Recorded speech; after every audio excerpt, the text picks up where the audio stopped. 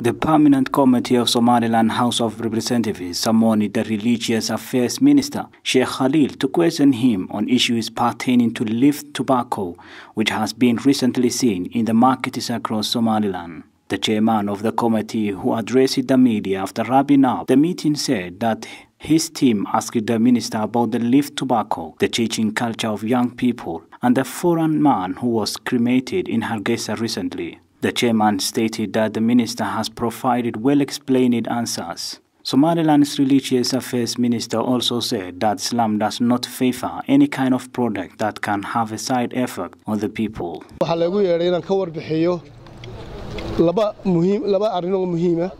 I was summoned here today to elaborate on two important things. The first one is about leaf tobacco and what does Sharia says about it. We have told the committee that Sharia does not favor anything that can have negative side effects on people. On Monday, the chairman of Somaliland Quality Control Commission confirmed that leaf tobacco was imported into Somaliland in accordance with the law.